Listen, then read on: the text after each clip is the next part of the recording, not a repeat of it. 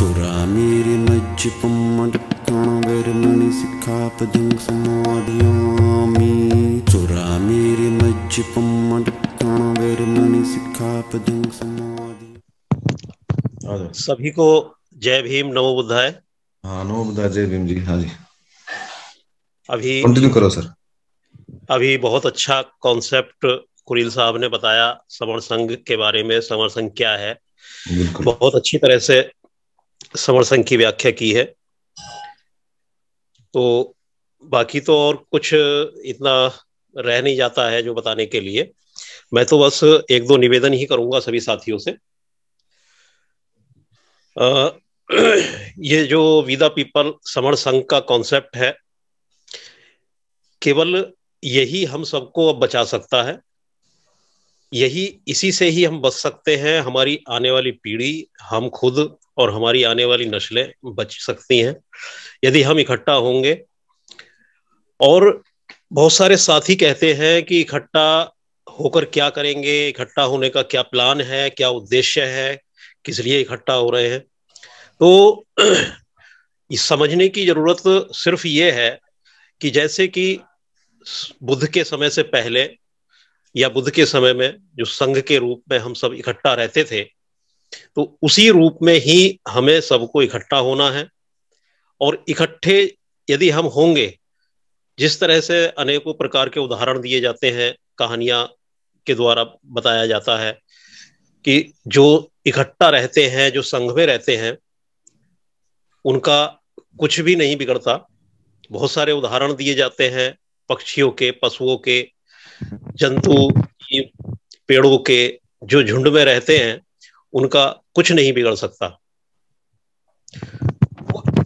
इन सभी उदाहरणों से- इन इन सभी उदाहरणों से हमें सीखने की समझने की आवश्यकता है। तो उसी को लेकर इसी कॉन्सेप्ट को इसी अवधारणा को लेकर ये समर संघ का गठन किया गया है। समर संघ जैसा कि अभी कुरिल साहब ने बताया है कि इस समर संघ में का कोई नेता नहीं है कोई इसका कर्ता धर्ता कोई अगुवा, कोई संस्थापक या अध्यक्ष या संचालक या निर्माता कोई भी नहीं है। यह हम सब का संघ है। जो भी S C S T OBC समाज में से आता है, वो इस संघ का सदस्य है। जन्मजात सदस्य है और इस सदस्यता के लिए उसको कोई, कहीं कोई एंट्री नहीं होती है, कोई चंदा नहीं, कोई शुल्क नहीं। जन्मजात सदस्य होते हैं। बस यहाँ दो प्रकार के सदस्य होते हैं, एक सक्रिय और एक निष्क्रिय। हम यहाँ पर जो जितने लोग जुड़े हुए हैं अभी इस समय 202 लोग इस समय जुड़े हुए हैं तो ये सक्रिय सदस्य हैं। बाकी जो लोग हैं जो अभी नहीं जुड़ पा रहे हैं हैं तो समण, समणी ही। तो जो काम करते हैं, जो समाज के लिए काम करते हैं, जो संघ के लिए काम करते हैं वह सक्रिय सदस्य होते हैं। इसी प्रकार से इस संघ में कोई चंदा नहीं लिया जाता, कोई सदस्यता, कोई शुल्क किसी प्रकार का नहीं लिया जाता है। एक नियम और भी संघ का बनाया हुआ है कि संघ कभी सक्रिय राजनीति में नहीं जाएगा। समर संघ में जातिवाद या ऊंच नीच या किसी प्रकार का भेदभाव को भी कोई स्थान नहीं है। समर संघ में के निर्णय जो संघ के द्वारा जो सार्वजनिक सहमति से होते हैं, वही निर्णय सभी को मान्य होते हैं। और ये निर्णय एक प्रकार से जो सक्रिय सदस्य हैं, जो संघ के लिए काम कर रहे हैं दिन रात काम कर रहे हैं, ऐसे सक्रिय सदस्यों को यहाँ पर एक प्रमोशन होता है, स्पोक का स्पोक बना दिया जाता है। और उन स्पोक को का एक हाउस लगता है। पहले महीने में दो बार लगता था, अब आने अब मार्च से हर महीने में एक बार एक हाउस लगेगा, सदन लगा के लगा, लगता है, वो लगे करेगा। तो उसी में ही सारे जो निर्णय और जो नियम या संघ के लिए जो कार्यशैली बनती है, वो उसी संघ में सबकी सहमति से, बहुमत से उसके लिए निर्णय लिया जाता है और वो संघ में अप्लाई किया जाता है। समर संघ में आप, कोई जिस तरह से कि बताया कि कोई चंदा, कोई शुल्क या सदस्यता नहीं ली जाती है, पैसे का कोई काम नहीं है तो इसी प्रकार से जब सदस्यों को अपना खर्चा करने की भी परंपरा समर संघ में है, समर संघ में कोई मीटिंग होती है, फ़िज़िकल मीटिंग होती है, संगतियाँ होती हैं, उसमें अपना खाना अपना खर्चा वहन करना होता है, अपना किराया वहन करना होता है। समर संघ में ही जो हमारा एक शनिवार का दिन होता है सन्निपात का दिन होता है, जो बुद्ध के समय में होता था, जो शनिवार को तो शनिवार को हम, हर शनिवार को समण लोगों से मिलना, जुलना, इकट्ठा होने की एक, ये परंपरा है, जो पुरानी परंपरा है, इसको अनिवार्य किया गया है। और हम सबको हर शनिवार को अवश्य, आवश्यक रूप से अपने लोगों से मिलना, इकट्ठा होना और मिलना अनिवार्य है। समर संघ में मंच माला या कोई वीआईपी कल्चर भी नहीं है। वीआईपी कल्चर नहीं होती है। सब समान होते हैं। मीटिंगों में गोल घेरा बनाकर बैठते हैं और किसी भी प्रकार का कोई अतिथि, मुख्य अतिथि इन चीज़ों का कोई स्थान नहीं है। और समर संघ ही अभी जैसे कि संघ के बारे में जिस तरह से बात होती है, जो बमड़ों का एक संघ है, जो सौ साल से, पिछले सौ साल से चला आ रहा है। और तो वो, जो हम असली संघी हैं, वो हम ही हैं। हम समण लोग ही जो सबसे पुराने और सबसे पुराना जो संघ है, वो हमारा समण संघी है। समण का मतलब समण एक तरह से प्राकृतिक, समण का मतलब प्राकृतिक है नेचुरल संघ जो है वो हमारा ये समण संघ ही है। तो समण संघ की आवश्यकता अभी कुरील साहब ने बताई, क्यों आवश्यकता महसूस की गई? क्योंकि हमारे अधिकार जा रहे हैं हम बटे हुए हैं जातियों में संगठनों में बटे हुए हैं। तो इस कारण से जो दुश्मन है हमारा उसको पता है कि हम सब टुकड़ों में बटे हुए हैं। तो हमारा यदि वो अहित करते हैं तो हम आ, कोई किसी प्रकार से संगठित नहीं हो पा रहे हैं। तो उसी का फ़ायदा उठाकर वो हमारा अहित लगातार किए जा रहे हैं। तो इसलिए बहुत ही आवश्यकता है आज और अभी इसी समय यह आवश्यकता है कि हम एक साथ आ जाएँ, हम एक साथ इकट्ठा हो जाएँ और इकट्ठा हो जाएँगे तो सारे काम फिर अपने आप होते रहेंगे।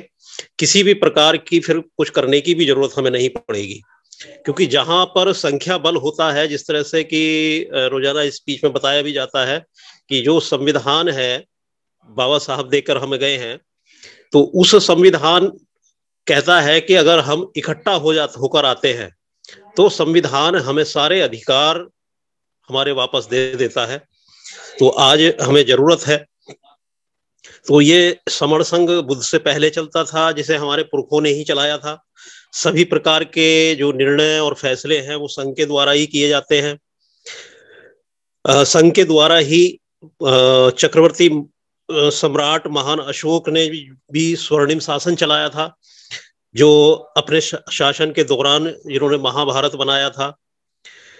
उसके बाद जब से ये बम्मड़ लोग भारत में आए, उसके बाद से ही हम जो समता में रहने वाले लोग थे, समणी समणी लोग थे तो समण शब्द को संस्कृत विकृत करके ही जो है इन्होंने काल्पनिक किस्सों के ज़रिए और जो काल्पनिक कहानियाँ गढ़ के और हम लोगों को हमारी जो संस्कृति थी, समण संस्कृति, उसको बिल्कुल पूरी तरह से विलुप्त करने का कार्य किया और इसमें हम फंसते चले गए।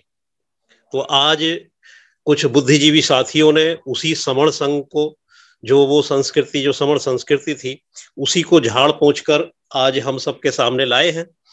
और जैसे कि बुद्ध ने भी बार बार बार बार शरण की, संघ की शरण में जाने को कहा है कि संगम शरणम गच्छामी। और बाबा साहब ने भी इसी को अपनाते हुए संघ की बातों को ही अपनाते हुए जो भारत का संविधान दिया है उसमें भी भारत एक गणराज्य संघ की ही स्थापना की है। तो समण संघ हमारे देश का सबसे पुराना संघ है और हम केवल हम ही संघी हैं।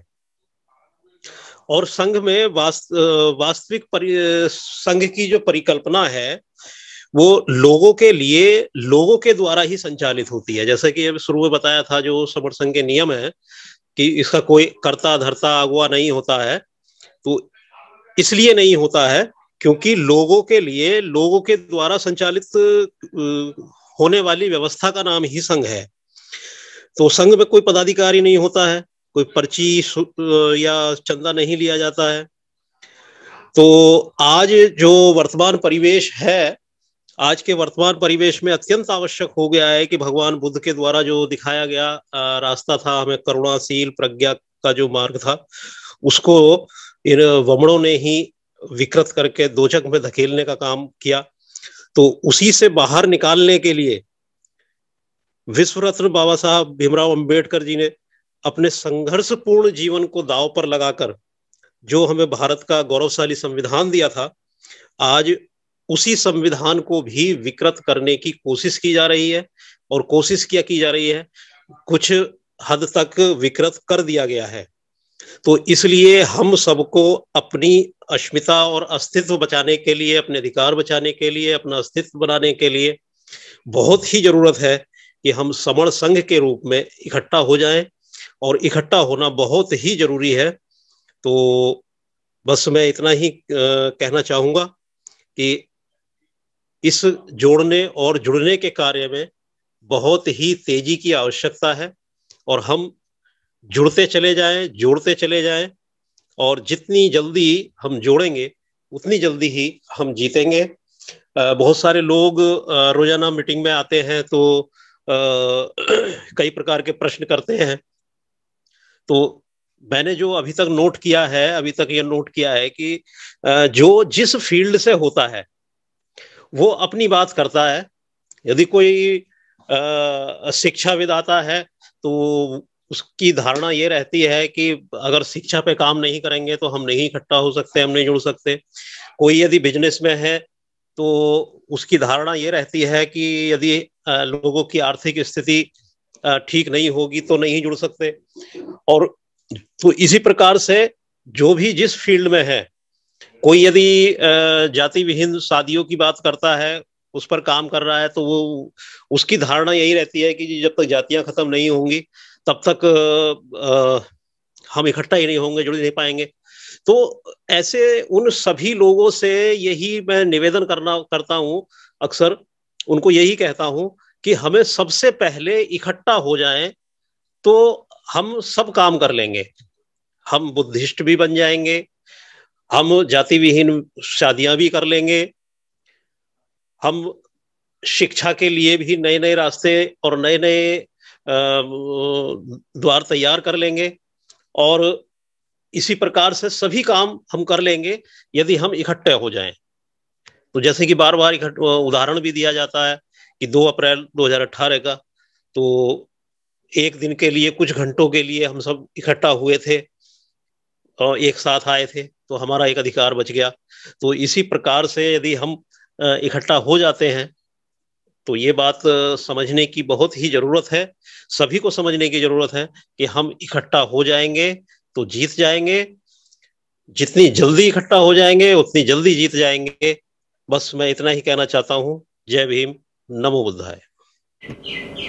आप सभी से ये निवेदन है कि अगर आपको ये वीडियो अच्छी लगती है या बाकी वीडियो अच्छी लगी हैं और आपको लगता है कि धर्म की वीडियो किसी को और मिलनी चाहिए या किसी को गिफ्ट में भेजनी चाहिए या किसी भाषा में कन्वर्ट करके आगे बढ़ानी चाहिए या प्रिंट में, किताब में छापनी चाहिए या इसकी जो ऑडियो है उसे निकाल के भेजना चाहिए या इसका किसी पार्ट को इस्तेमाल करना चाहिए तो आपको लिबर्टी है, आपको छूट है। ये सभी कॉपीराइट फ्री हैं। आप अपने फेसबुक पे, अपने पेज पे, अपने ट्विटर पे, या अपने हैंडल पे, या लिंक को कहीं भी शेयर कर सकते हैं, कहीं भी चला सकते हैं, आप यूट्यूब पे भी चला सकते हैं, अपने नाम से चला सकते हैं। इसके लिए इजाज़त लेने की या परमिशन ले, लेने की बिल्कुल भी ज़रूरत नहीं है। आप इसको अपना मान के चलाएँ, क्योंकि धम्म सबका है। हम जो बताते हैं, वो भगवान बुद्ध का है, या महापुरुषों का है। उन्हीं की बात को सरल भाषा में बताते हैं। हमारा सिर्फ़ इतना राइट है इस पर कि हम इसको लोड कर देते हैं। बाकी सारी ये पूंजी आपकी है। धन्यवाद। तं सरेण गच्छामि। ओण गच्छामि।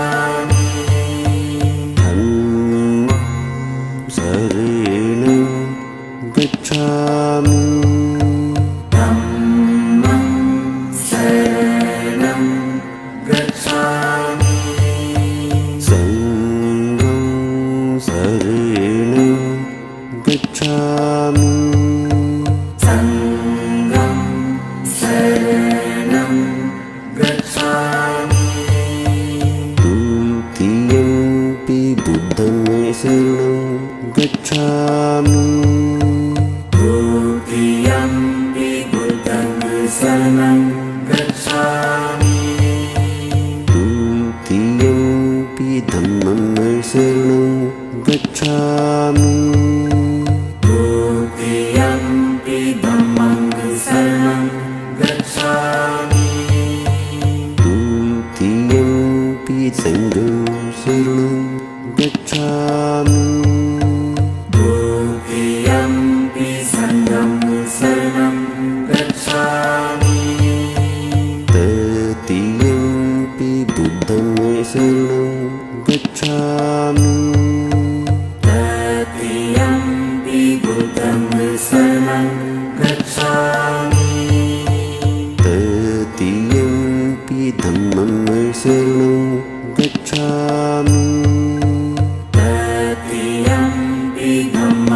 Jerusalem.